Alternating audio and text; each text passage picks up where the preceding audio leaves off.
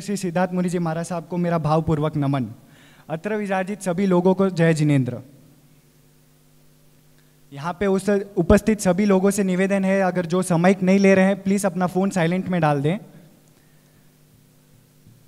मैं दर्शन आपका आज का होस्ट और दोस्त। अब मैं आमंत्रित करना चाहूँगा श्री प्रवीण जी नाहर को कि आके वेलकम स्पीच दें। लगभग पिछले इक्कीस साल से लेकिन संस्कार सिर्फ़ समय को अपना उद्देश्य रख करके नहीं, बल्कि समय के अनुसार जिन जिन प्रोजेक्ट्स की आवश्यकता होती है, जिन जिन कार्यों की आवश्यकता होती है, उसके हिसाब से कार्य करते हुए आज इक्कीस सालों तक निरंतर चला रहा है। आज का ये कार्यक्रम रिचार्जिंग यू नाम से ही हम अंदाज़ा लगा सकते हैं कि इसमें कुछ न कुछ युवाओं के लिए फ़ायदे की है। और आज युवा लाखों रुपए दे करके पर्सनली डेवलपमेंट की क्लासेस डेवलपमेंट क्लासेस जा रहे हैं और कई अपने ही समाज के व्यक्ति ऐसे हैं जो क्लासेस लेने के लिए जा रहे हैं तो अब संस्कार मंच ने समय की मांग को देखते हुए यही अंदाज़ा लगाया कि जब देने वाले और लेने वाले दोनों अपने समाज में मौजूद हैं तो क्यों पैसे खर्च किए जाए? क्यों ना संस्कार के प्लेटफॉर्म पर एक ऐसा स्टेज तैयार किया जाए जहाँ दोनों का मिलन एक साथ हो सके? उसी उद्देश्य से आज संस्कार मंच का कार्यक्रम रिचार्जिंग यूथ हम शुरू कर रहे हैं। उसमें पधारे सभी संस्कार मंच सदस्य एवं का संस्कार मंच की ओर से बहुत बहुत स्वागत करता हूँ और उम्मीद हूँ कि आज का ये कार्यक्रम आप सबके लिए कहीं न कहीं कुछ न कुछ लाभदायक ज़रूर साबित होगा इससे पहले कि भरत जी आकर अपना स्टेज ग्रहण करें और इस कार्यक्रम को आगे बढ़ाएँ, मैं चाहता हूँ कि आप सब संस्कार मंच के कुछ गतिविधि को आपको बताऊँ या उनके बारे में आपको कुछ दर्शित करूँ। आपका सिर्फ़ पाँच मिनट लेना चाहूँगा। सन 2 अक्टूबर 2000 में पूज्य श्री सिद्धार्थ मुनि जी महाराज ने एक नींव रची थी। जिसका मूल उद्देश्य सिर्फ़ एक ही था कि साप्ताहिक समायिक करें। सभी युवाओं को एक साथ जोड़ें और सब मिलकर एक साथ समायिक करें। और वो वो आप देख सकते हैं कि किस रूप से चल रही है। फिर उसके बाद सब, सिर्फ़ सामायिक में ही हम सीमित नहीं रह गए थे। उसके आगे भी हमारे और बहुत से कार्यक्रम होते हैं। जैसे कि साल के तीन सौ पैंसठ दिन हम अन्नदान करते हैं। अन्नदान, उसके अलावा जीव दया भी होता है, जिसके रूप में डॉग वेल्फ डॉग वेलफेयर के रूप में एवरी सैटरडे को हम जाके डॉग हम अ, कुत्तों को और उनको ये जीव दया के रूप में ये करते हैं। उसके अलावा हर बार मेंबर्स के यहाँ पे जाके नौकार मंत्र का जाप किया जाता है। मेंबर्स के घर में समाई के बाद संडे को नौकार मंत्र का जाप किया जाता है। फिर विहार सेवा के रूप में गुरु भगवंत के साथ चाहे वो कहीं पे भी विराजमान हो, उनको विहार, उनको, उनके साथ विहार करके, उनको एक जगह से दूसरी जगह पे लेके जाने में भी हम पीछे नहीं रहते हैं। फिर ये एक सबसे ज़रूरी या फिर इम्पोर्टेंट प्रोग्राम रहता है हमारे मंडल के अंदर, जिसमें साल में एक बार, चाहे हमारे गुरु भगवान सिद्धार्थ मुनि जी महाराज कहीं पे भी हो, हम साल में एक बार उनके यहाँ पे जाते हैं, जहाँ पे अधिवेशन रहता है और हाँ यहाँ सभी ब्रांचेस में से, सभी शाखाओं से, सभी मेंबर्स उस एक जगह पे एकत्रित होते हैं। सर्दियों में कभी रात को जो रोड पे सोते हैं या फिर जिनसे नहीं होता है, उन लोगों को ब्लैंकेट डिस्ट्रीब्यूशन के रूप में एक प्रोजेक्ट किया जाता है।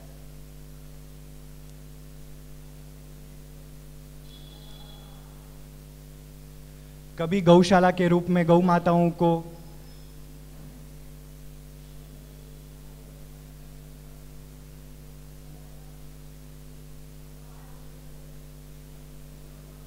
फिर गर्मियों में जैसे हर कोई को बहुत प्यास लगती हो, उसके लिए हम हम लोग हमेशा जलपान का प्रोग्राम किया जाता है। यहीं पे स्थानक के बाहर जलपान का प्रोग्राम रहता है, जहाँ पे मई महीने में हम लोग जूस दो घंटे के लिए पहले तो जूस प्रोवाइड होता है, बाकी सूर्य उदय के बाद और सूर्य अस्त से पहले तक प्याऊ लगाया जाता है।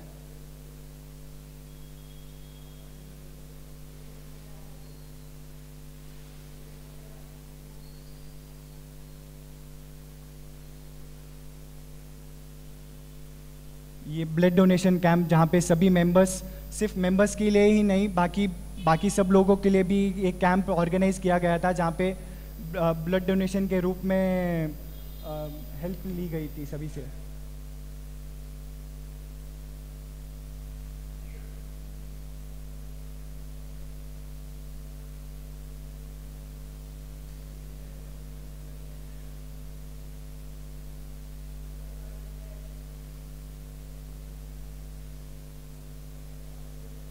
ये वेरागन सैदापेट में एक वेरागन बैंड थे, उनके लिए भी वहाँ पे सभी मेंबर्स एकत्रित होके उनको प्रोत्साहन देने के लिए या फिर धर्म दलाली लेने के लिए सब मेंबर्स एक साथ एकत्रित हुए थे।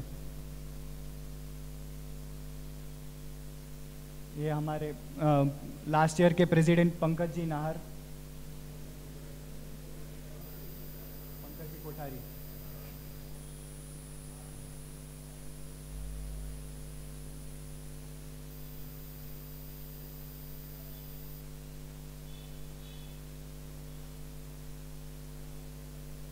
कंचन कंवर जी मारासा का सौकारपेट में जो प्रवेश हुआ था उन, उनकी टीम। फिर ये इंदू बालाजी मारासा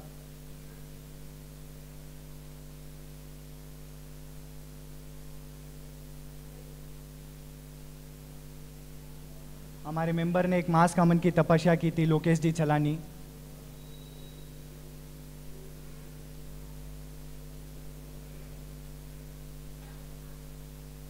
यहाँ पे उसके अलावा दोपहर के टाइम में चार महीने चौमासे के टाइम में क्विज कॉम्पिटिशन्स हो गया या कौन बनेगा धर्मपति उस, उसी तरह के घने बहुत सारे प्रोग्राम्स ऑर्गेनाइज किए गए थे। अब मैं आमंत्रित करूँगा भरत जी को कि आके अपना स्टेज ग्रहण करें। भरत जी के बारे में मैं संक्षेप में सिर्फ़ एक ही लाइन में कहना चाहूँगा कि आप आकर एक चार्टर्ड अकाउंटेंट है। उसी के साथ K two D financial service के फाउंडर भी हैं और साथ में करंट में संस्कार मंच के एक सेक्रेटरी भी है। अब मैं आमंत्रित करूँगा भरत जी नार को। भरत जी शरद भरत जी भिड़कचा को। Good morning all good morning good morning बहुत खूब। पर आवाज़ नहीं आई। मेरी गुड मॉर्निंग की आवाज़ आपके जय जिनेन्द्र की आवाज़ से ज़्यादा है। एक बार फिर करते हैं। गुड मॉर्निंग हाँ अब लग रहा है कि हाँ यहाँ पे युवा बैठे हैं। आपने संस्कार मंच की अभी गतिविधियाँ देखी कि संस्कार मंच ना सिर्फ़ साप्ताहिक, सामायिक धर्म तक सीमित रहता है, बल्कि युवाओं को अनेक दूसरे प्रोजेक्ट से जोड़कर उनके अंदर की कैपेसिटीज को कैपेबिलिटीज को बाहर लेकर आता है। वह सिर्फ़ धर्म तक सीमित नहीं रहता, आपके अंदर की लीडरशिप क्वालिटीज आपको कहाँ, कैसे बोलना है, उन सब क्वालिटीज को भी बाहर लेकर आता है। वह आप देख चुके हैं कि यह प्रोग्राम जो पूरा ऑर्गेनाइज हुआ है, पूरे हमारे मेंबर्स ने ही किया है। दैट मीन्स इवेंट को कैसे ऑर्गेनाइज करना इवेंट में कैसे बोलना इवेंट में किन चीज़ों का ख्याल रखना यह सिर्फ़ आपको धर्म तक सीमित नहीं रखता, बल्कि आपकी बिज़नेस लाइफ में, आपकी पर्सनल लाइफ में, आपकी प्रोफेशनल लाइफ में इसी तरह आपको क्या करता है, मदद करता है। Before I start this session I request कि यहाँ पर जितने भी लोग हैं, जितने भी पेरेंट्स यहाँ पर आए हैं, अपने बच्चों को संस्कार मंच से जोड़ें, अपने भाइयों को, अपने दोस्तों को प्रेरणा दें कि इस प्रकार सौकारपेट में एक मंच है सौकार संस्कार मंच, जो लोगों को ना सिर्फ़ धर्म से धर्म से जोड़ता है, बल्कि एक व्यक्ति को दूसरे व्यक्ति से जोड़ने का भी काम बहुत अच्छी तरह से करता है। जब हम यहाँ पे संडे को आते हैं तो ऐसा लगता ही नहीं है कि हम यहाँ सामायिक करने आए हैं। ऐसा लग रहा है कि काफ़ी दिनों बाद हम अपने सारे परिवार वालों से मिलने के लिए यहाँ पर आए हैं। 40 से 50 लोग तो कम से कम यहाँ रहते हैं। जब एक दूसरे से बातें करते हैं, उनके विचारों को सुनते हैं, हम उनको बोलते हैं तो पूरे दिन की, पूरे हफ़्ते की थकावट भी क्या है, मिट जाती है। और जब मंडे को हम वापस ऑफ़िस पहुँचते हैं तो ऐसा लगता है कि नई एनर्जी और नई ऊर्जा के साथ जाते हैं। क्या मैं सही हूँ? ज़ोर से, अगर सही हूँ तो ज़ोर से। हाँ तो आप सब लोग अब सेशन शुरू करते हैं। आप सब लोग यहाँ पर आए हैं। इसका मतलब एक बात तो तय है कि आप सब लोग ज़िंदगी में कुछ ना कुछ बनना चाहते हैं, कुछ ना कुछ हासिल करना चाहते हैं। ज़ोर से, क्या मैं सही हूँ? हाँ तो आज आपने अपनी ज़िंदगी में उस कुछ ना कुछ हासिल करने के लिए जो पहला कदम उठाना चाहिए, वो आपने उठा लिया है। किसी भी चीज़ को हासिल करने के लिए पहला कदम होता है कि उसकी चाह रखना। उसकी चाह रखना और आप अगर यहाँ पर आए हैं तो इसका मतलब एक बात तो तय है कि आपको ज़िंदगी में कुछ ना कुछ बनना है और आज का समय, अब का समय बेहतरीन समय है किसी काम को करने के लिए। क्योंकि जितने ऑप्शंस आज हमारे पास मौजूद है, उतने ऑप्शंस पहले कभी मौजूद नहीं थे। ऐसा कोई भी काम नहीं है जो आज हम नहीं कर सकते, लेकिन तकलीफ़ एक ही है। अब ऑप्शंस इतने ज़्यादा हो गए हैं कि क्या करें और क्या नहीं करें यह दुविधा आपको क्या है? झंझोड़ के रखती है, और यही वो दुविधा है जो आपको अपने लक्ष्य तक पहुँचने के लिए क्या कर रही है? बाधित कर रही है कि ऑप्शंस इतने हो गए, मैं क्या करूँ और क्या ना करूँ? अगर आप इस बात में महारत हासिल कर ले कि आपको क्या करना है, कब करना है तो आप उन सफल लोगों से ज़्यादा सफल होंगे जो आजकल आप लोगों को सुनने में आते हैं। तो सफलता के लिए आपको सही ऑप्शन सेलेक्ट करने की टेक्निक आनी चाहिए। अगर आपने सही ऑप्शन सेलेक्ट कर लिया तो क्या हो गया? क्या हो गया? आपने वो फ़र्स्ट स्टेप है जो सेलेक्ट कर लिया। क्योंकि आपको क्या करना है, क्या नहीं करना है, वो तो आपको क्या ऑप्शन सेलेक्ट करने पे ही पता चलेगा। ऐसे ही तो हम शुरू नहीं कर सकते कि भाई चलो कुछ तो कुछ करना है और कुछ तो कुछ शुरू कर दिया। ऐसे करने से आपको सफलता नहीं मिलती। ज़िंदगी में आपको सबसे महत्वपूर्ण काम जो है, उसको सबसे पहले करना है। इसका मतलब ज़िंदगी में सबसे बड़ा पत्थर जो आपको दिखता है, उसको आपको सबसे पहले तोड़ना है। बड़ा पत्थर का मतलब है कि ज़िंदगी में जो महत्वपूर्ण काम है आपके जीवन का, जो महत्वपूर्ण काम है, उस महत्वपूर्ण काम को आपको सबसे पहले करना है। अब यह महत्वपूर्ण काम क्या है वो मैं नहीं बता सकता। ये आपका व्यक्तिगत है। आपको ज़िंदगी में सबसे महत्वपूर्ण काम को, अर्थात ज़िंदगी के सबसे बड़े पत्थर को सबसे पहले तोड़ना है। नाउ अगर समझ लीजिए कि आपके पास सबसे दो बड़े पत्थर हो गए तो आप किस पत्थर को तोड़ेंगे? वापस ऑप्शंस तो आप देखिए कि कौन सा पत्थर सबसे मुश्किल है तोड़ना। आप सबसे पहले उस पत्थर को तोड़िए। जब आप उस पत्थर को तोड़ देते हैं तो आपके मस्तिष्क में एंडोफिन्स डेवलप होते हैं, जो आपको नई एनर्जी देते हैं। आपने कभी महसूस किया है, जब आप कोई काम खत्म कर लेते हैं तो आपके शरीर में एक नई एनर्जी आती है, यस, मैंने ये काम खत्म कर लिया। और आप दूसरे काम को करने के लिए उत्तेजित होते हैं। क्या आपने कभी ऐसा महसूस किया है? काम चाहे छोटा भी हो, लेकिन अगर आप उसको खत्म कर लेते हैं तो आपको ऐसा लगता है कि, यस, मैं कर सकता हूँ। अगर मैं ये कर सकता हूँ तो एक काम और करके देखता हूँ कि क्या मैं वो कर सकता हूँ। जब आप ऐसा करने लगते हैं तो एक के ऊपर एक एक के ऊपर एक बार बार लगातार आप एक के ऊपर एक काम करने के लिए क्या करते हैं? उत्तेजित होते हैं, क्योंकि जो मस्तिष्क में एंडोफिन्स आपकी पहली सफलता पे आते हैं, वो आपको दूसरे काम के लिए प्रेरित करते हैं और दूसरे काम की सफलता आपको तीसरे काम के लिए प्रेरित करती है। तो आपको, अगर आपने देख लिया कि अगर आपने दिन का सबसे महत्वपूर्ण काम आपने उस दिन सबसे पहले कर लिया तो आप सोचिए कि आपके शरीर में उस दिन कितनी ऊर्जा, कितनी एनर्जी, कितनी हैप्पीनेस जनरेट होगी जो आपको पूरे दिन क्या है, आपके इंजन को चलाते रहेगी। आपने ये बात, इस बात पे सब लोग सहमत हैं कि जब आप कोई काम को सफल तरीके से निपटा देते हैं, काम चाहे कितना भी छोटा हो अगर वो आपने निपटा दिया तो आप उस दिन जब जाएँगे तो आप ऐसे ऑफ़िस में जाएँगे। अगर किस ऑफ़िस में, अगर आप ऑफ़िस की बात करें, अगर आपने ऑफ़िस में काम, जो प्रोजेक्ट दिया था, वो खत्म हो गया है तो खत्म होने के बाद जब प्रोजेक्ट ऑफ़िस में जाएँगे तो आपके पाँव की आवाज़ आएगी और इतने फुर्ती के साथ ऑफ़िस में जाएँगे। ये सिर्फ़ ऑफ़िस में नहीं, घर में भी अगर बहुएँ हैं तो अगर सास कहीं बाहर गई और उन्होंने कुछ काम दिया, अगर वो काम को सुचारू रूप से खत्म करके आराम से बैठ जाए तो उनके बैठने का तरीका ही अलग होगा। ऐसे लगेगा कि हाँ उन्होंने सब कुछ अचीव कर लिया है। वो जो खुशी है, वह खुशी आपको अगले काम को, उसी काम को वापस दोहराने में क्या करेगी? मदद करेगी हेल्पफुल रहेगी। तो आपको क्या करना है? आपको क्या करना है? सबसे बड़ा पत्थर सबसे पहले तोड़ना है। क्या करना है? ज़ोर से, सबसे बड़ा पत्थर? और सबसे बड़ा पत्थर कौन सा है? उस दिन का सबसे बड़ा काम ही आपका सबसे बड़ा पत्थर है। सोच के देखिए, अगर वो काम कर लिया जो आपके लिए सबसे मुश्किल है तो बाकी सब काम तो क्या है? आसानी से हो जाएँगे। तो उसके लिए तो आपको मेहनत भी करने की ज़रूरत नहीं पड़ेगी, क्योंकि आपने उस काम के लिए मेहनत की जो सबसे मुश्किल था और आपने उसको खत्म कर दिया। तो बाकी सब काम के लिए आपको इंस्पिरेशन रहेगा कि जब मैंने वो काम कर लिया तो ये काम तो क्या है? मैं आसानी से कर लूँगा। तो जो थॉट ऑफ़ फेलियर आएगा, वो है जो कभी आ ही नहीं सकता। जब मुश्किल काम पहले करते हैं तो दिन के शुरुआत में आपके पास खूब एनर्जी रहती है। जब आप मुस्किल काम को अंत तक टाल देते हैं, टाल मटोल कर देते हैं, तब क्या होता है? आपने काफ़ी काम कर लिए हैं। अब जब मुश्किल काम करने का समय आया तो आप थक चुके हैं। तो उस काम को आप खत्म नहीं कर सकते। अगर आप उस काम को खत्म नहीं कर सकते तो आपको लगता है कि यार, मैं तो ज़िंदगी में कुछ कर ही नहीं सकता। लेकिन वास्तविक बात यह नहीं है कि आप ज़िंदगी में कुछ कर नहीं सकते। वास्तविकता यह है कि आपने उस चीज़ को गलत टाइम पे शुरू किया। क्या किया? गलत टाइम पे शुरू किया। तो सबसे पहले, सबसे पहला नियम क्या रहेगा कि सुबह उठते ही मैं सबसे बड़ा पत्थर तोड़ूँगा।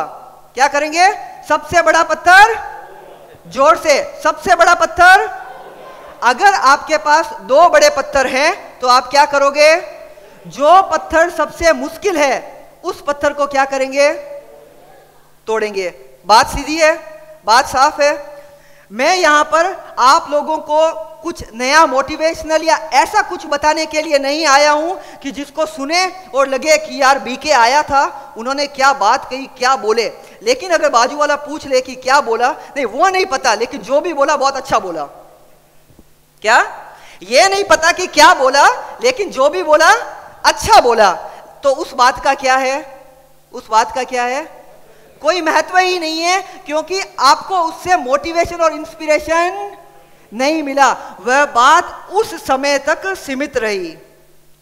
मेरे यहाँ आने का मकसद है कि आपके अंदर की उस काबिलियत को बाहर निकालना, जो आपको पता है कि आपके पास है, लेकिन किसी कारणवश उसके ऊपर कोई आवरण आ चुका है, उसके ऊपर कोई कवर आ गया है।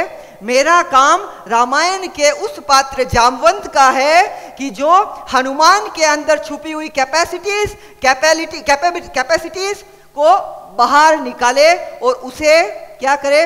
बताए कि आपका, आपकी वास्तविक शक्तियाँ क्या है? आप वाकई में ज़िंदगी में कर क्या सकते हैं और कर क्या रहे हैं?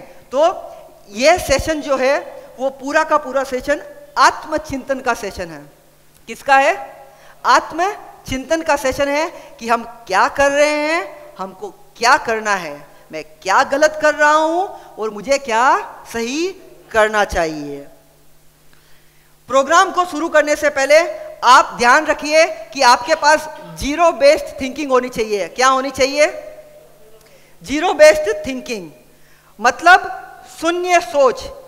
आज तक आप जो भी काम कर रहे हैं, वह क्यों कर रहे हैं? क्योंकि आप इतने टाइम से करते आ रहे हैं। आप कोई भी काम कर रहे हैं। मैं तो ये दस पंद्रह साल से कर रहा हूँ, इसके लिए मैं कर रहा हूँ। क्यों कर रहा हूँ वो? नहीं पता, लेकिन दस पंद्रह साल से कर रहा हूँ, इसके लिए क्या है कि मैं वो आज भी कर रहा हूँ। शून्य बेस्ड शून्य based that is zero based thinking का मतलब है कि आज आप व्यक्तिगत वर्तमान परिस्थिति में आपको डालकर देखिए, आज के ज्ञान को बटोर कर देखिए और आज निर्णय लीजिए कि आप वो जो काम कर रहे थे, आज वर्तमान में, वर्तमान ज्ञान के साथ क्या वह काम आप शुरू करते? क्या सवाल करना है? आज वर्तमान के ज्ञान को ध्यान में रखते हुए आपको सोचना है कि आप ज़िंदगी में जो भी काम कर रहे हैं, छोटा, बड़ा, जो भी काम कर रहे हैं, वर्तमान ज्ञान को ध्यान में रखते हुए सोचिए कि अगर वो काम आपको आज शुरू करना होता तो वो आप शुरू करते क्या?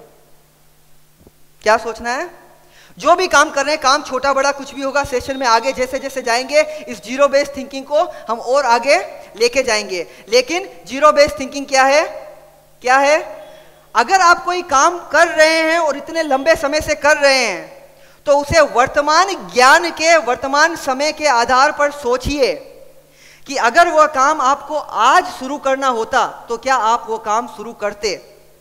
अगर करते तो करते रहिए। जो आप अभी कर रहे हैं, उसे करते रहिए। अगर उसे आज शुरू नहीं करते तो आप बंद कर दीजिए। अगर आज शुरू नहीं करते तो आज बंद कर दीजिए। तो सबसे पहले हो गया, इन सबको काम करने में एक आता है। क्या आता है? फेलियर टू एग्जीक्यूट मतलब अमल में सफलता। मतलब हम सोच तो लेते हैं क्या है कि जब भी कोई संघ समाज की मीटिंग होती है ऑर्गेनाइजेशन की कंपनीज़ की मीटिंग होती है, खूब बातें होती है, दस, पंद्रह, एक के ऊपर एक एक के ऊपर मीटिंग्स होती रहती है। सब मीटिंग्स में क्या है? ये करेंगे, वो करेंगे, ये करेंगे, वो करेंगे। लेकिन क्या है? करते नहीं है। क्या करते हैं? बातें बड़ी बड़ी करते बातें और खाते बड़ा पाओ मतलब बातें तो इतनी करेंगे, लेकिन उसको एग्जीक्यूशन करने में क्या कर देते हैं? वह सफल नहीं होते। मतलब एग्जीक्यूशन में ला ही नहीं पाते। तो आप कोई भी काम करने में उसका अगर आपका रीजन ऑफ़ फेलियर है that is only because failure to execute आप अमल में असफल रहे हैं। अगर आप किसी भी काम को अमल कर पा रहे हैं तो सक्सेस क्या है? आपके पास रहेगी। तो एक चीज़ ध्यान रखना है कि जो भी करना है, उसको बस एग्जीक्यूट करना है। क्या करना है? जो भी हम डिसाइड करेंगे, उसको एग्जीक्यूट करना है। कैसे करना है? क्या करना है? उसके बारे में भी हम डिस्कस करेंगे। नाउ एक अच्छी लत डाल दें कि सबसे महत्वपूर्ण काम शुरू करने की आदत डालना। अभी हमने सबसे पहले क्या किया? सबसे बड़ा पत्थर डोलना है। उस पत्थर को तोड़ने की आपको आदत डालनी पड़ेगी। क्या करना पड़ेगा?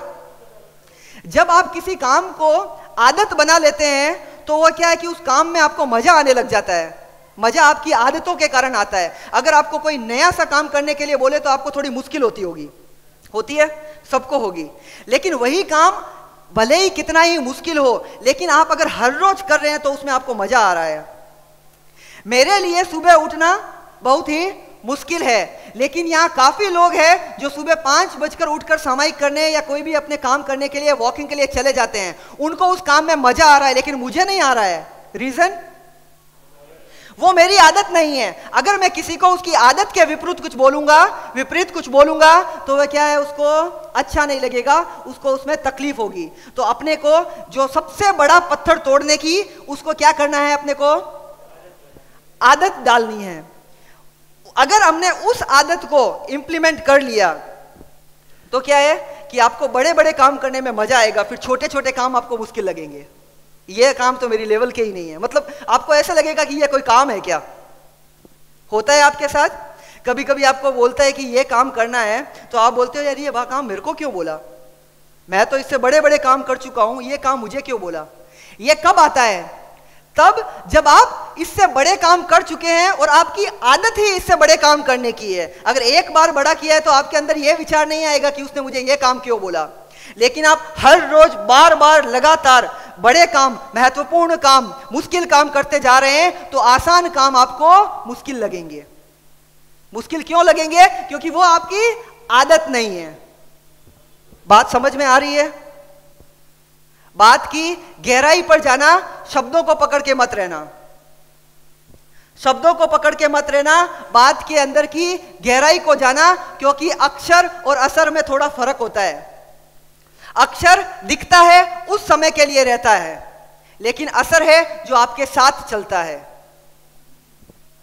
अक्षर, आप हो सकता है भूल जाओ लेकिन आपने वो कहानी तो सुनी होगी। किसी को राम राम कहने के लिए बोलते हैं, माला फेरने के लिए बोलते हैं, लेकिन वो मरा मरा मरा मरा शुरू कर देता है, लेकिन फिर भी उसे भगवान मिल जाते हैं। क्योंकि यहाँ बात अक्षर की नहीं है, बात शब्दों की नहीं है कि उसने राम बोला या मरा बोला।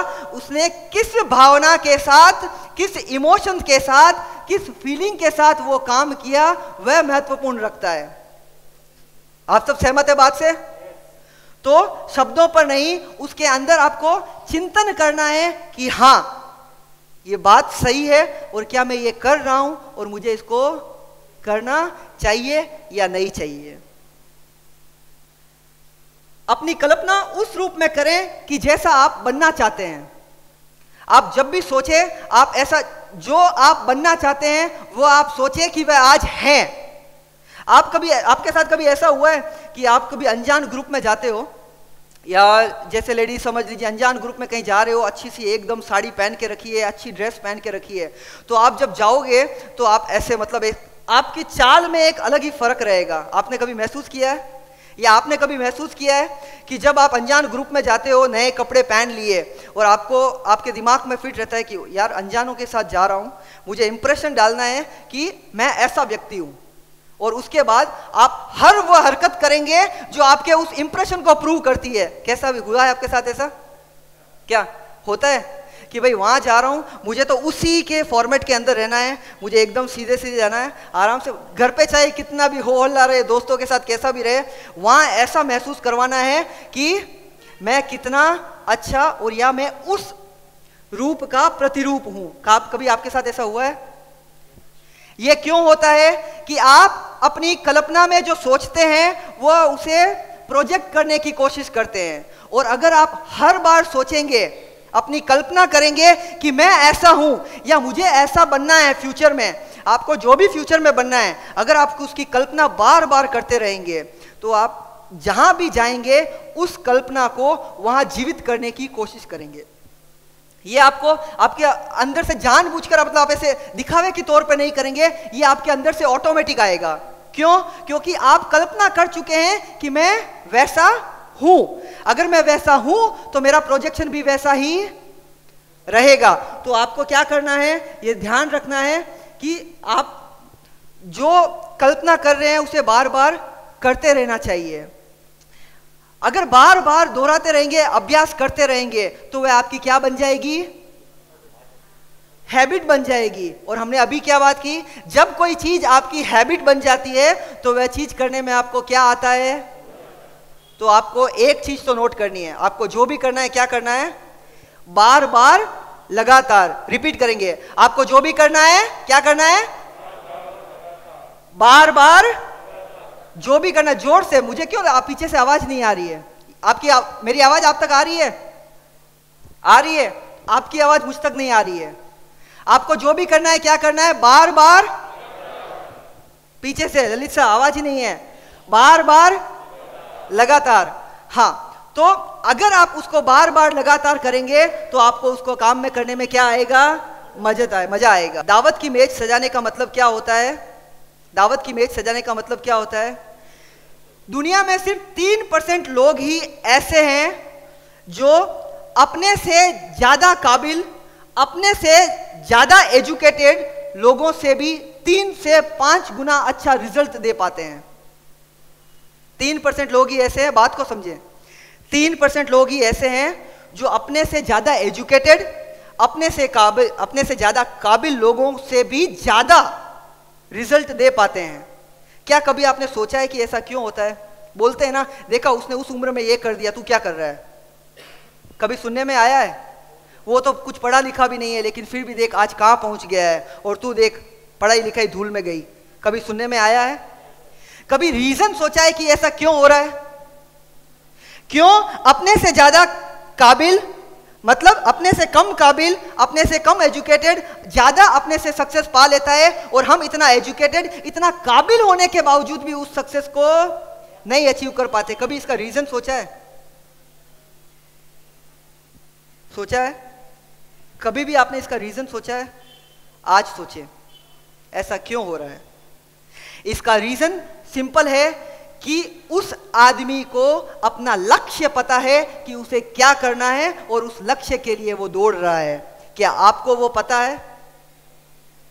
उस आदमी को पता है कि उसे ये काम करना है, उसे ये हासिल करना है, फिर चाहे जो कुछ भी हो जाए, मुझे तो वह हासिल करना ही है। ये लक्ष्य उस आदमी के पास रहता है जो हमारे पास नहीं रहता। इस कारण हम भटकते रहते हैं टाल मटोल करते रहते हैं कि हमको क्या करना है, क्या नहीं करना इस बारे के बारे में। पता ही नहीं रहता और हम समय को क्या करते रहते हैं? वेस्ट करते रहते हैं। लेकिन हमें समय को वेस्ट नहीं करना है। क्या करना है? इन्वेस्ट करना है। ज़ोर से। हमें समय को क्या नहीं करना है? समय को क्या नहीं करना है? और समय को क्या करना है? इन्वेस्ट करना है। तो उन लोगों की सक्सेस के पीछे सात सात स्टेप्स है। कितने स्टेप्स हैं? अगर उनमें से एक भी स्टेप आपने इंप्लीमेंट कर लिया तो आप देखिए आपका करंट रिज़ल्ट दुगुना हो जाएगा। अगर आपने सात में से एक भी स्टेप को इंप्लीमेंट कर दिया तो आपका करंट रिज़ल्ट क्या हो जाएगा? दुगुना हो जाएगा। तो सबसे पहला स्टेप क्या है?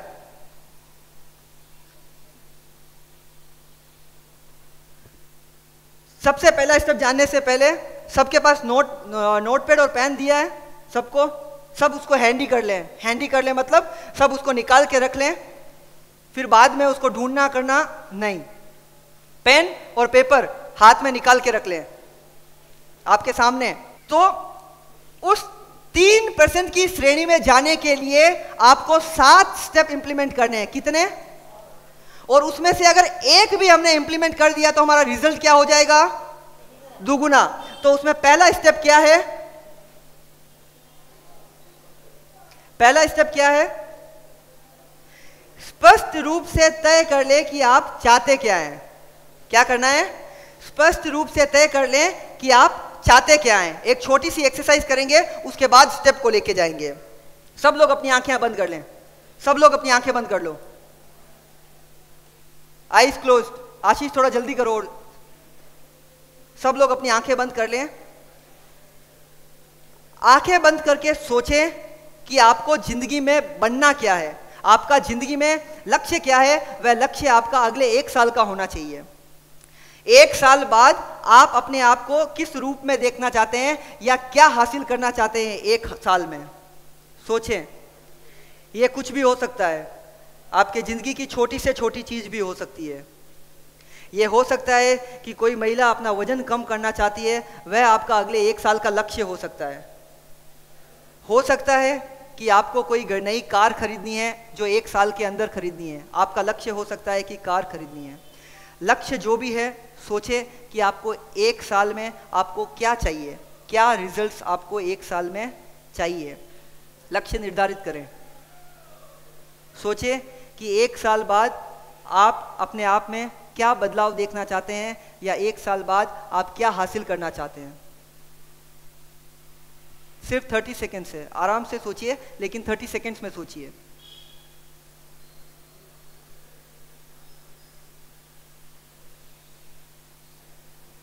धीरे धीरे आँख खोलकर, जो भी लक्ष्य आपने निर्धारित किया है, उसे अपने पेपर पर लिख दीजिए। जो भी लक्ष्य आपने निर्धारित किया कि एक साल में मुझे यह करना है, उसे आप पेपर पे नोट कर लीजिए। एक साल बाद आप क्या हासिल करना चाहते हैं? पेपर पे नोट कर दीजिए। एक शब्द में नोट कीजिए, कार, एक लाइन में नोट कीजिए कि मुझे वज़न कम करना है। आपको जो भी आपने लक्ष्य निर्धारित किया है, उसे नोट कर लीजिए।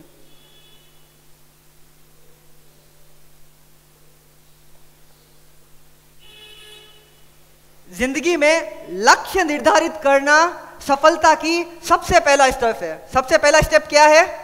लक्ष्य निर्धारित करना, क्योंकि जब तक अपने पास क्लैरिटी ही नहीं है कि अपने को करना क्या है तो हम आगे करेंगे भी क्या। तो काम को शुरू करने से पहले लक्ष्य निर्धारित हो जाना चाहिए। क्लैरिटी ऑफ़ थॉट्स जैसे कि अगर सफलता की सीढ़ी पर सरपट चढ़ना है तो आपको यह निर्धारित करना होगा कि वह सीढ़ी सही इमारत से टिकी है। अगर वह इमारत गलत है तो क्या है? सीढ़ी क्या हो जाएगी? नीचे गिर जाएगी, आधे में रुक जाएगी। इसका मतलब अगर आपकी क्लैरिटी नहीं है, वो इमारत आपकी क्लैरिटी है, आपका लक्ष्य है। अगर वह सही नहीं है तो आप क्या है कि आप कितने भी एक्टिविटीज़ कितने भी स्टेप आगे चलो, क्या नहीं होगा? रिजल्ट्स आप अपने लक्ष्य तक नहीं पहुँच पाएँगे। तो जैसे कि सबसे ज़्यादा ज़रूरी होता है अच्छा दो सवाल एक सवाल है। काम को सही करना है या सही काम करना है? काम को सही करना है। क्या करना है? इसी सोच को अपने को बदलना है। क्या करना है? इसी सोच को अपने को बदलना है। हमको काम को सही नहीं करना है, हमको सही काम करना है। क्या करना है? छोटा सा एग्ज़ाम्पल आप गाड़ी में जा रहे हैं। आप गाड़ी में जा रहे हैं ड्राइवर गाड़ी बहुत ही बेहतरीन कंफर्टेबली चला रहा है। एक घंटे बाद आप पहुँच गए, आपको पता चला, आप ईसीआर e की जगह ओएमआर पहुँच गए। उसने गाड़ी को बहुत अच्छी तरीके से चलाया, बहुत सही तरीके से चलाया, लेकिन वो गलत जगह पर पहुँच गया। तो ये सही किया हुआ, सही तरीके से किया हुआ गया, काम काम आया। वहीं एक ड्राइवर है, थोड़ा धीरे चल रहा है, लेकिन वह सही ओएमआर में पहुँच गया। उसको ओएमआर जाना था ओएमआर पहुँच गया। तो यह बताओ कि इसमें से सफल कौन? वह आदमी जो सही तरीके से काम कर रहा है या वह आदमी जो सही काम कर रहा है? सफल कौन? जो सही काम कर रहा है, वही सफल है। क्योंकि तरीका बदल सकता है, लेकिन लक्ष्य वही रहना चाहिए। तरीका अपने आप पर निर्भर करता है कि वह सही है या नहीं है। मेरे लिए एक तरीका सही है, आपके लिए वह तरीका गलत हो सकता है। लेकिन लक्ष्य क्या है? तरीका अपने आप पर निर्भर करता है, लेकिन लक्ष्य है जो क्या है, वो रिजिड रहना चाहिए। अगर आपने लक्ष्य में फेरबदल कर दी तो क्या है? फिर क्या है? ज़िंदगी की नाव, डावाडोल होने लग जाएगी। तो सबसे फ़र्स्ट स्टेप है, क्या है? और आज हम इस स्टेप को शुरू करने वाले हैं कि हम आज अपने लक्ष्य को क्या करने वाले हैं? निर्धारित करने वाले हैं कि यही मेरा लक्ष्य है और अगले एक साल तक मैं जो करूँगा, वह इस लक्ष्य को हासिल करने के लिए रहेगा। तो सबसे पहला लक्ष्य, सबसे पहला स्टेप क्या हो गया? लक्ष्य निर्धारित करो कि आपको करना क्या है। और फिर दूसरा स्टेप क्या है? इसे लिख लो। कहाँ लिखना है? कागज़ पे लिखना है। वो भी हमने कर लिया। क्योंकि जो लक्ष्य सिर्फ़ दिमाग में है, वह सिर्फ़ इच्छा है। क्या है? जो लक्ष्य सिर्फ़ दिमाग में है, वह सिर्फ़ इच्छा है। अगर उस इच्छा को लक्ष्य के रूप में देखना है तो उसे मूर्त, अगर उसे लिखोगे तो वह क्या है कि उसे आप बार बार देख सकते हो, उसे फील कर सकते हो। पेपर को टच करके आप फील कर सकते हो कि हाँ ये मेरा लक्ष्य है। तो आपको उस लक्ष्य को, उस लक्ष्य को इच्छा नहीं, लक्ष्य बनाना है। आपकी जो भी धारणा आज हमने अपने पेपर पे लिखी, उसको लक्ष्य बनाना है, ना कि इच्छा, क्योंकि लक्ष्य के पीछे एक फोर्स होती है उसे कंप्लीट करने की। लेकिन इच्छा के पीछे कोई फोर्स नहीं होती, क्योंकि इच्छा तो क्या होती है? बदलती रहती है। ये देखा तो ये इच्छा हुई, वो देखा तो वो इच्छा हुई। लेकिन लक्ष्य हमेशा क्या रहता है? सटीक रहता है, एक रहता है। तो दूसरा स्टेप क्या है? उसे कागज़ पर लिख ले। जो भी है उसे कागज़ पर लिख ले। जैसे जैसे आपको थोट आए, उसे कागज़ पर लिख ले। तो दूसरा स्टेप क्या हो गया? उसे कागज़ पर लिख ले। अब तीसरा क्या है? लक्ष्य की समय सीमा को तय करें।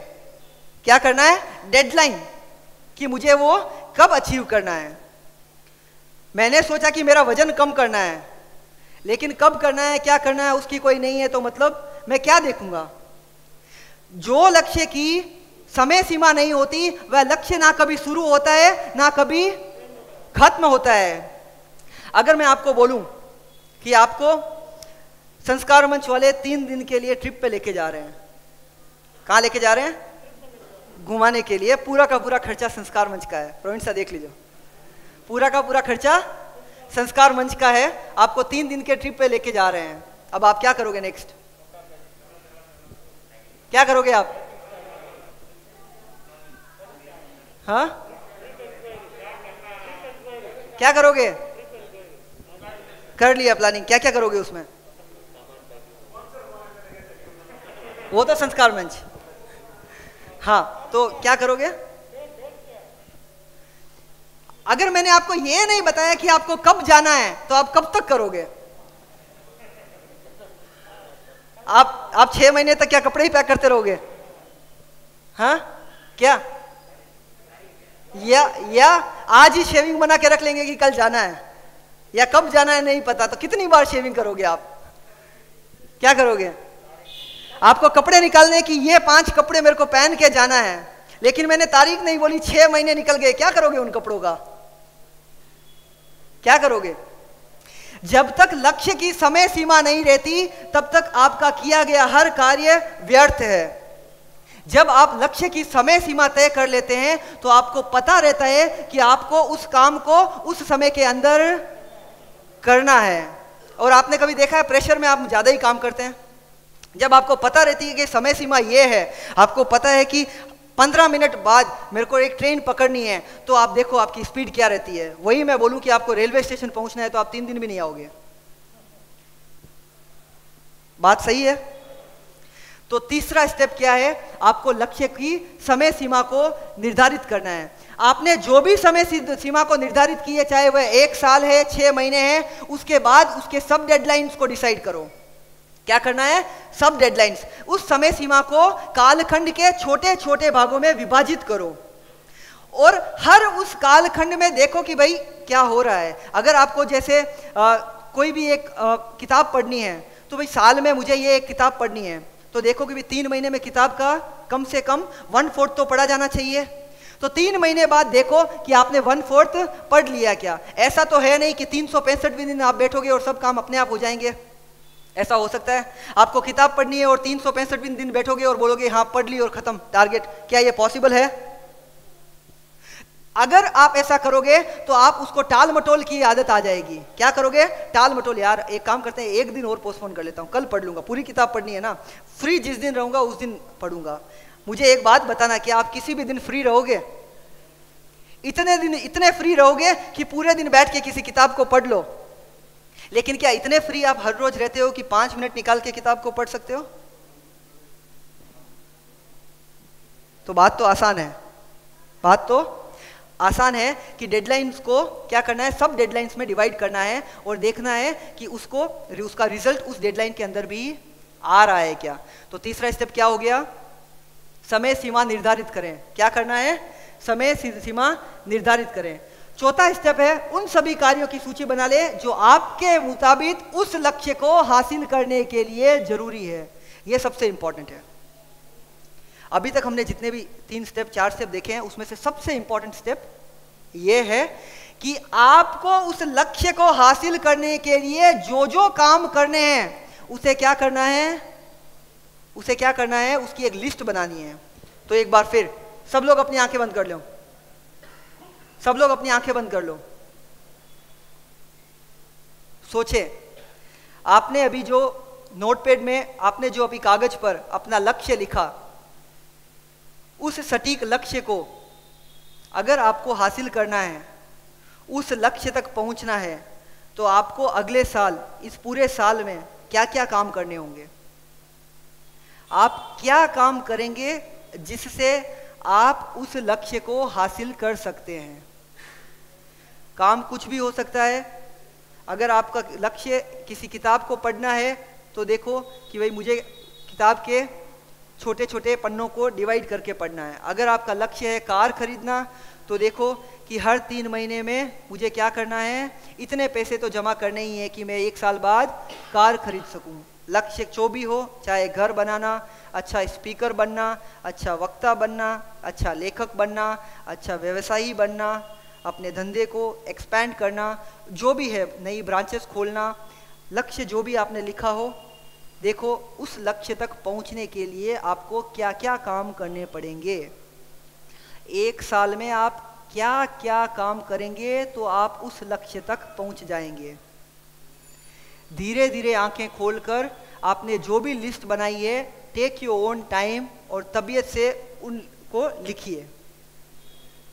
लिखिए। धीरे धीरे आँख खोलकर, क्या काम करने से आपको वह लक्ष्य मिल जाएगा, वो पेपर पर लिखिए।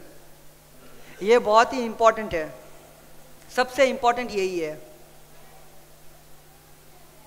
वह कौन सा काम है जो करने से आप उस लक्ष्य को पा सकते हैं?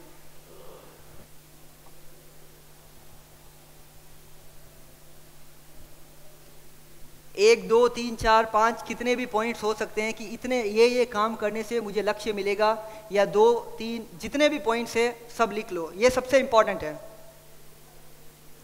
मैं इसको इसलिए दोहरा रहा हूँ क्योंकि ये वाकई में इंपॉर्टेंट है। यही वो है, यही वो चीज़ है जो आज आपको घर लेकर जानी है। अब आपकी सूची बन चुकी है। क्या हो चुकी है? लिस्ट प्रिपेयर हो चुकी है। अब आपको क्या करना है? नेक्स्ट स्टेप नेक्स्ट स्टेप क्या है? नेक्स्ट स्टेप क्या है? सूची को योजनाबद्ध रूप दें मतलब प्लानिंग करें। आपने लक्ष्य निर्धारित कर लिया, लक्ष्य को कागज़ में लिख लिया, लक्ष्य की समय सीमा तय कर ली, लक्ष्य को पहुँचने के लिए क्या क्या काम करने हैं, वो भी लिख लिए। अब अपने को क्या करनी है? प्लानिंग करनी है कि इस लक्ष्य को कैसे हासिल किया जा सकता है, जो भी हमने सूची में काम किए हैं, उन काम को क्या करना है? कैसे करना है? प्लानिंग में किए गए 10-15 मिनट आपके दो से तीन घंटे दिन में बचा सकते हैं। अगर आप सिर्फ़ 10 से 15 मिनट प्लानिंग करें दिन में तो प्लानिंग में किए गए 10 से 15 मिनट आपके दिन में पाँच से छह, नहीं तो कम से कम 102 घंटे तो बचा ही देंगे, क्योंकि उससे आपको पता चलता है कि क्या काम करना है और क्या नहीं करना है। वरना क्या है कि बिना मकसद के गाड़ी क्या है चलती ही रहती है। और ये सबसे महत्वपूर्ण है। ये अगला, सूची बनाने के बाद सबसे महत्वपूर्ण क्या है? प्लानिंग करना ही। अगर आप बिल्डिंग बनाते हैं तो क्या करते हैं? लेबर्स चले जाते हैं सब साइट पे। चलो बिल्डिंग बनाओ। क्या करते हैं? सब लेबर्स को, हज़ार के हज़ार को एक जगह पे छोड़ दिया, चलो बिल्डिंग बनाओ। तो क्या होगा? क्या होगा? बिल्डिंग बनेगी। बिल्डिंग बनाने से पहले एक महीने पहले ही उसकी प्लानिंग हो जाती है, उसकी डिज़ाइन आर्किटेक्चर उसकी डिज़ाइन बना देता है कि इस बिल्डिंग की नींव कैसे रहेगी और ये बिल्डिंग का आकार क्या रहेगा, ये बिल्डिंग कैसे खड़ी होगी, कब क्या स्टेप लेना है। पहला स्टेप फाउंडेशन है तो फाउंडेशन रहेगा। ऐसा नहीं है कि पहले की ऊपर की मंजिल बन गई और फिर नीचे फाउंडेशन तो प्लानिंग में आपको यह शामिल करना है कि जो काम आपको सबसे पहले करना है, उसको सबसे पहले ही करना है। फिर लिस्ट में ये नहीं देखें कि आज टाइम कम है, दूसरा काम आसान है तो एक काम करते हैं, पहले दूसरा काम कर लेते हैं। ये लालच है। इस लालच से बचें कि मैं आसान काम को पहले कर लूँ और फिर मैं उस मुश्किल काम में जाऊँगा और उसको सबसे बाद में निपटा दूँगा। क्योंकि इस सेशन का पहला नियम क्या था? पहला नियम क्या था? सबसे महत्वपूर्ण, सबसे इंपॉर्टेंट काम सबसे पहले करना है। तो प्लानिंग में भी जब आप प्लानिंग बनाओ तो उस सूची को व्यवस्थित रूप से क्या करो? एक स्ट्रक्चर दो कि ये काम सबसे पहले करूँगा, ये काम उसके बाद करूँगा, ये काम उसके बाद करूँगा, और लास्ट में क्या है? ये ये ये काम करूँगा। तो नेक्स्ट स्टेप क्या है? प्लानिंग नेक्स्ट स्टेप क्या है? प्लानिंग प्लानिंग के बाद छठा कदम है अपनी योजना पर तत्काल एग्जीक्यूशन आपने प्लान बना लिया, लेकिन एग्जीक्यूट नहीं किया तो ऐसे प्लान का क्या फ़ायदा? तो प्लान को क्या करना है? एग्जीक्यूट करना है। कुछ भी करो, छोटा सा भी करो, लेकिन हाथों हाथ कर दो। काम को शुरू कर दो। धीरे धीरे धीरे धीरे एक से एक कड़ियाँ जुड़ती जाएगी, एक से एक कड़ियाँ जुड़ती जाएगी, और आपको पता भी नहीं चलेगा कि वो काम क्या हो गया। कब? खत्म हो गया। लेकिन उसको क्या करना है? अपने को कुछ तो करना ही है।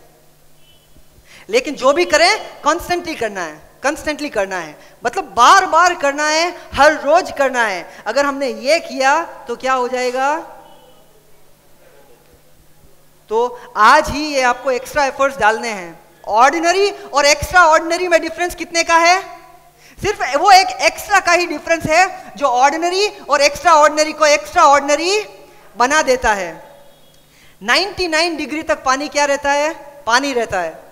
जब आप पानी को 99 डिग्री तक गर्म करते हैं तो वह क्या रहता है? तो वह क्या रहता है? पानी रहता है। लेकिन अगर उसे एक डिग्री और गर्म कर दे तो वह पानी क्या बन जाता है?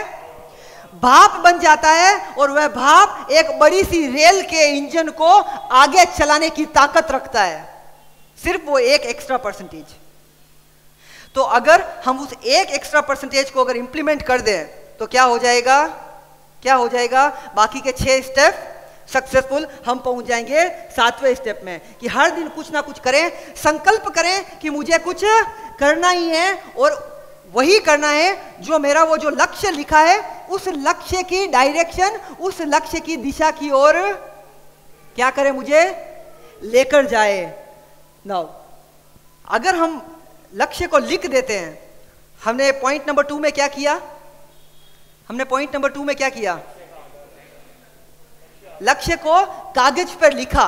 जब हम लक्ष्य को लिख देते हैं तो हमको टाल मटोल छोड़ने की आदत चली जाती है। जब मुझे पेपर में पता है कि मुझे यही काम करना है तो मुझे यही काम करना है। जब ये पेपर पे नहीं लिखा हुआ है तो मैं सोचूँगा कि चलो कल करते हैं। अच्छा ये क्या? ये बाद में कर लेंगे। चलो, अभी ये करते हैं, अभी वह करते हैं। तो आपको ये टाल मटोल प्रोकेस्टिनेट करने की आपकी आदत आ जाती है। और यही जब आप कागज़ में लिख देते हैं तो आपके अंदर से एक अलग ही एनर्जी आती है कि यार, ये तो मुझे करना ही है। तो उसका क्या है कि अगर आप लक्ष्य को लिख दें तो लिखित लक्ष्य की शक्ति देखें कि अगर हर दिन अपने लक्ष्य के बारे में सोचें और उसकी समीक्षा करें तो हर सुबह सबसे पहले वह काम करें जिससे आप सबसे महत्वपूर्ण लक्ष्य को क्या कर सकते हैं? हासिल कर सकते हैं। अब आपको डायरेक्शन मिल गया है कि आपको करना क्या है। आपको सात स्टेप भी आ गए। लक्ष्य लिख दिया। लक्ष्य का क्या कर लिया? कागज़ पे लिख दिया। समय सीमा तय हो गई। हमने लिस्ट बना दी कि क्या क्या काम करना है। प्लानिंग भी कर ली। एग्जीक्यूशन हो जाएगा। अब उसको बार बार आपको रिव्यू करना है। हर रोज रिव्यू करना है। कुछ भी नई चीज़ें जुड़े, उसे उस सूची में ऐड करते जाइए। अगर नया लक्ष्य जुड़ जाए तो उसे भी अलग से लिखिए। उसकी कार्यकारिणी सूची अलग से बनाइए। दोनों लक्ष्य को देखिए कि कौन सा लक्ष्य ज़्यादा इंपॉर्टेंट है। कौन सा लक्ष्य ज़्यादा इंपॉर्टेंट है, उस लक्ष्य को पहले खत्म करें। आपकी ज़िंदगी में आपको, चलो ठीक है नहीं स्किप दिस हाँ। आपको क्या करना है? आपको, अगर आप ज़िंदगी में सोने से पहले 10 मिनट पहले, अगर आप लिस्ट बना लें कि आपको अगले दिन क्या करना है, क्या करना है? सोने से पहले 10 मिनट पहले, अगर आप लिस्ट बना दें कि अगले दिन क्या करना है तो उससे क्या होगा? आप अगले दिन आपका जो शेड्यूल है, वो एकदम सही तरीके से चलेगा। इसको चलो एक एक्सपेरिमेंट से देखते हैं। कोई भी दो वॉलेंटियर आ जाओ, जो सामायिक में नहीं है। कोई भी दो वॉलेंटियर दो जने। आपके पास दो कार्ड्स है। पूरे कार्ड की पूरी डेक है। आपको इसमें से किंग निकालना है। जब किंग निकल जाए तो उसको बाहर करना है। शुरू हो जाओ। एक मिनट, हाथ में रखो, उसको भी खोलने दो। एक साथ करेंगे। सीधा कर लो। देख के निकालना है। बिना देख के नहीं। मैजिक नहीं करना है। ठीक है, देखो, रुको रुको रुको, शुरू करने दो। इनको बहुत जल्दी है। अंदर आ जाओ थोड़ा।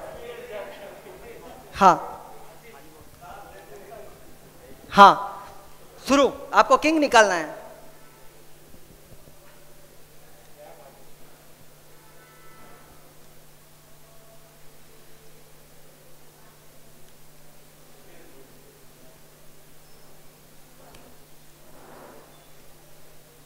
चार होते हैं।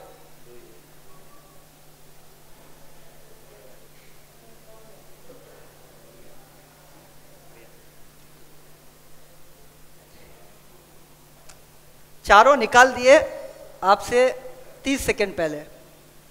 आपसे तीस सेकंड पहले। इस एक्सरसाइज को एक बार फिर दोहराते हैं। ये मुझे दे दो। दे दो, मुझे दे दो।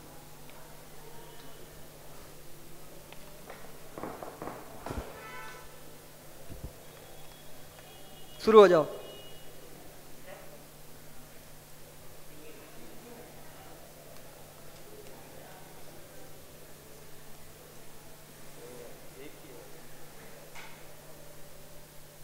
है है, चार है। क्लास में चार होते हैं।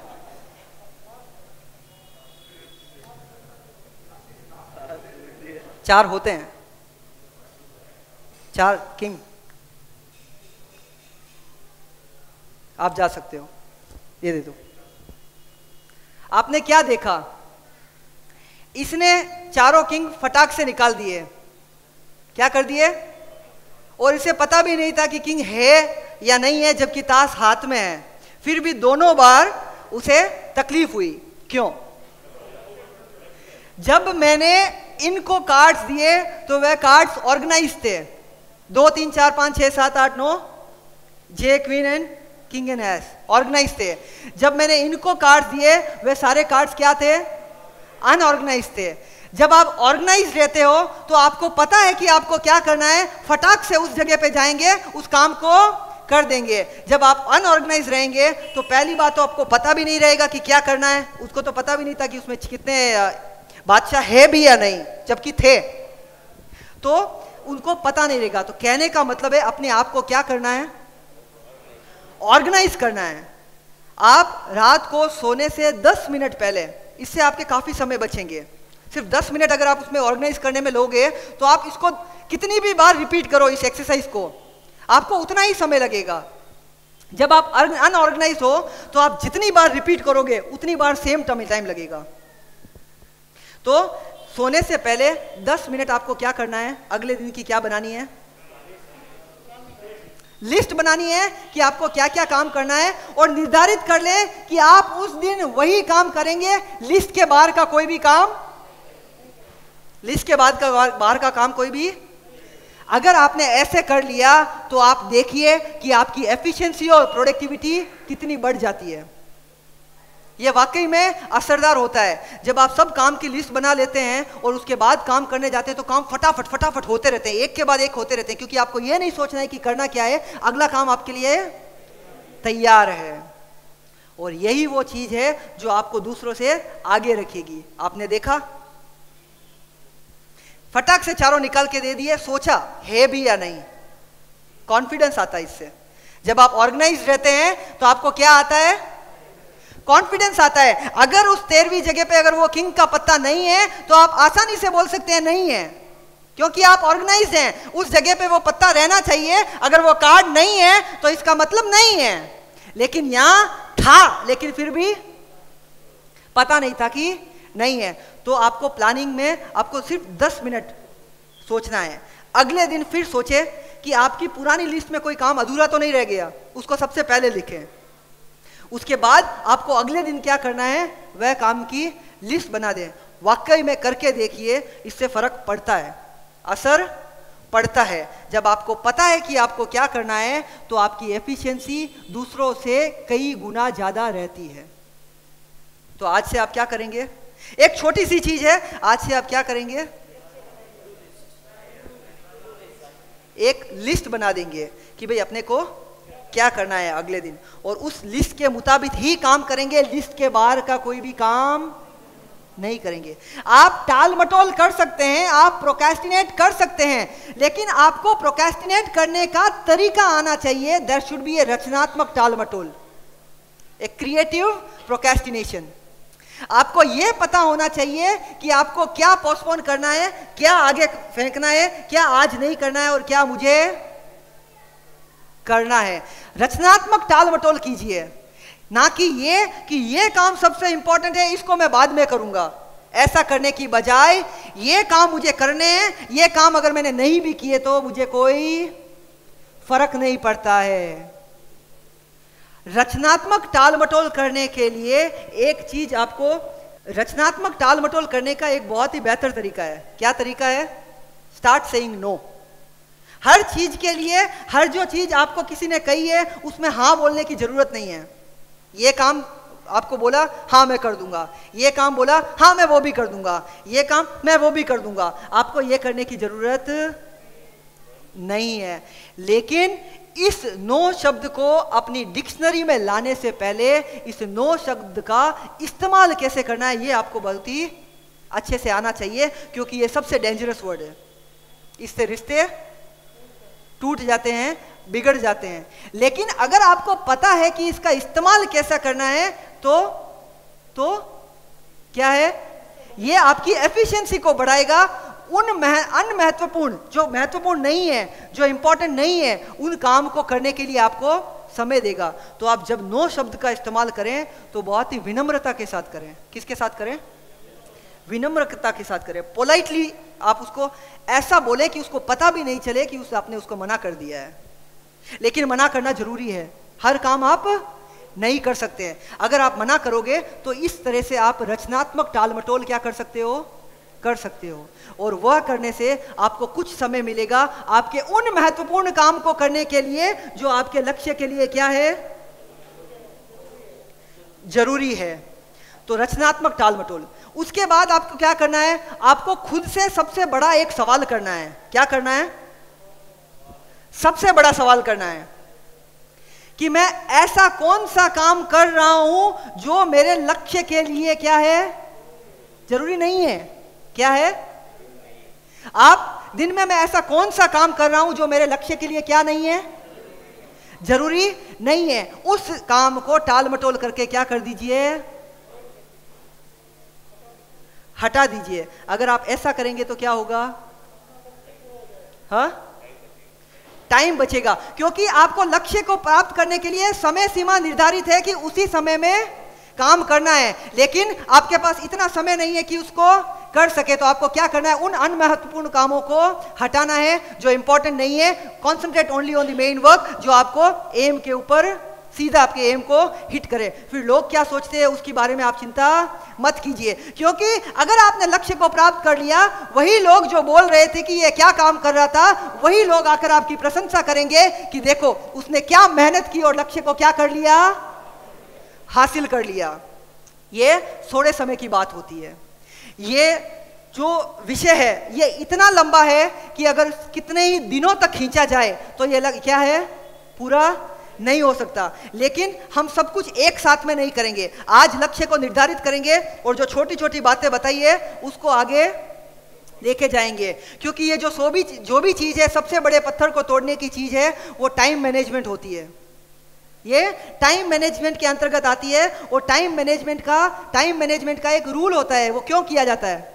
क्यों करते हैं टाइम मैनेजमेंट आप टाइम मैनेजमेंट क्यों करते हो? इंपॉर्टेंट कामों को क्यों करते हो? लक्ष्य को। अगर मैं बोलूँ, आप सबके अलग अलग आंसर है, लेकिन मैं बोलता हूँ, उसके बाद बताना कि यही आंसर आप सबका है क्या। टाइम मैनेजमेंट का सिर्फ़ एक ही एक मकसद है।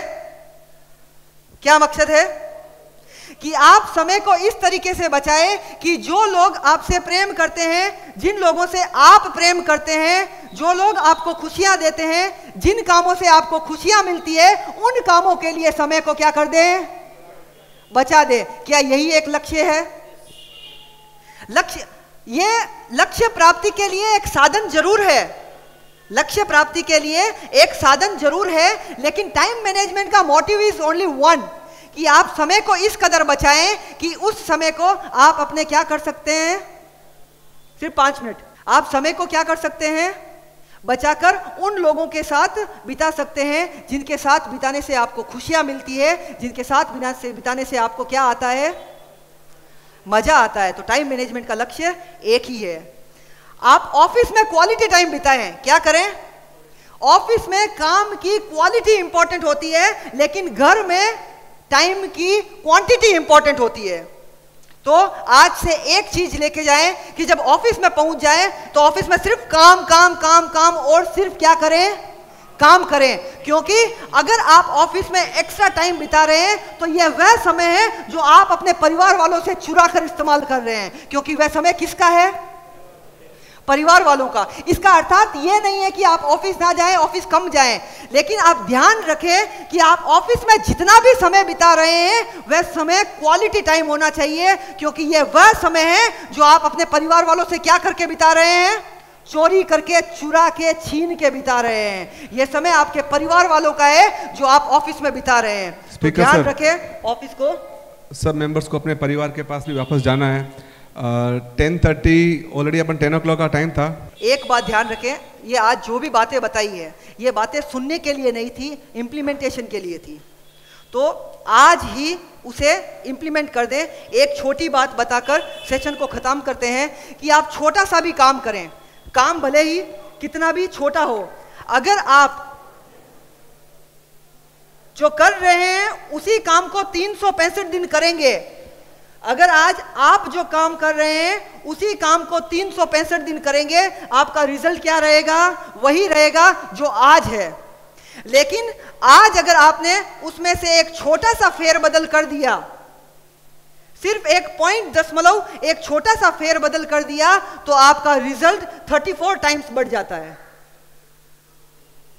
तो आप ध्यान रखिए एक छोटा सा कुछ भी लें लेकिन आज ही उस काम को करें और कब क्या करें? बार बार करें और बार बार करें और लगातार करें। समय कम है तो will close this session with this लेकिन uh, संस्कार मंच के uh, संस्कार मंच uh, सिद्धार्थ मुनि जी महाराज साहब ने युवाओं को प्रेरित रखने के लिए, प्रेरित करने के लिए, उन कड़ियों को जोड़ के रखने के लिए एक संगठन बनाया था, जो बखूबी, जैसा उन्होंने लक्ष्य निर्धारित किया था, एजेंडा के हिसाब से आज भी उतना ही अखंड, उतना ही सटीक है, बल्कि मैं कहूँगा कि जैसे जैसे वह संगठन और ही ज़्यादा मज़बूत होता जा रहा है तो आज संस्कार मंच ने मुझे ये अपॉर्चुनिटीज़ दी। उसके लिए संस्कार मंच को तह दिल से बहुत बहुत धन्यवाद। एंड मैं निवेदन करता हूँ कि ऐसे ही सेशंस आगे फ्यूचर में करते जाएँ, अलग अलग स्पीकर्स को मोटिवेशनल स्पीकर्स को बुला के जाएँ और क्या है? यूथ को एक एनर्जी के साथ, एक ऊर्जा के साथ रिचार्ज करते रहें। तो ही इस प्रोग्राम रिचार्जिंग यूथ को हम सफल बना सकते हैं। Thank you very much thank you one and all करके कृपया बाहर रजिस्ट्रेशन काउंटर पे दे दें। उसके साथ आपको एक और बॉक्स एक पेपर दिया होगा जिसमें 24 बॉक्स बने हुए हैं।